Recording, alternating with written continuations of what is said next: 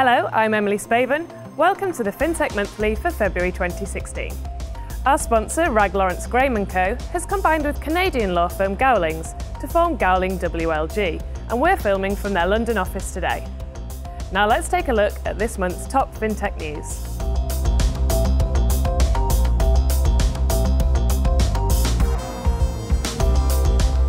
London-based money transfer service WorldRemit landed $45 million in funding. Investors in the round included Triple Point Venture Growth BDC Corp and Silicon Valley Bank.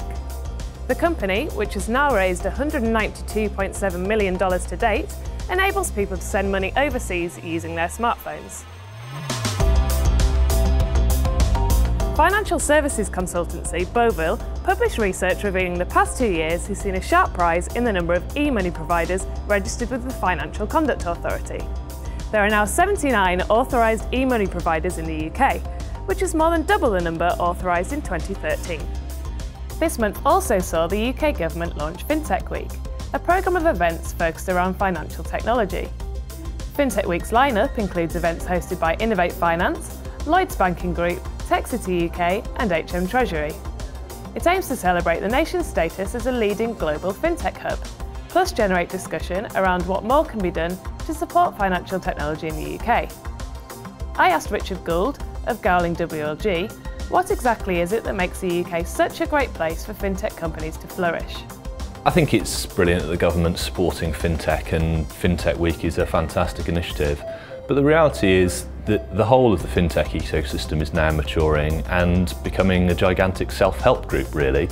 And that's one of the things that is unique about London. It's got the right mix the companies, the startups, the number of entrepreneurs coming into the ecosystem, but the VCs that are coming in now as well. The capital is being supplied not just by general VCs, but by quite specific VCs like Illuminate Financial, who are focusing just on capital markets, for example. So the whole ecosystem is now maturing and looking much more like a US-style tech ecosystem.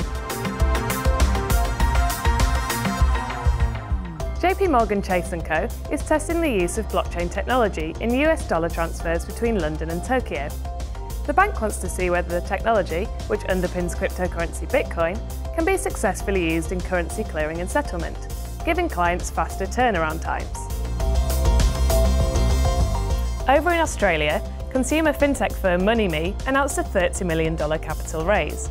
The company said it will use the funds to launch a series of niche Australian-first financial products for the millennial market. The $30 million raise follows a $1 million VC injection in 2013 and is expected to be the first of three capital raises completed by the company during 2016 and 2017. That's it for this episode of FinTech Monthly. For more FinTech news, visit techcitynews.com and for more of our videos, subscribe to our YouTube channel. Thanks for watching.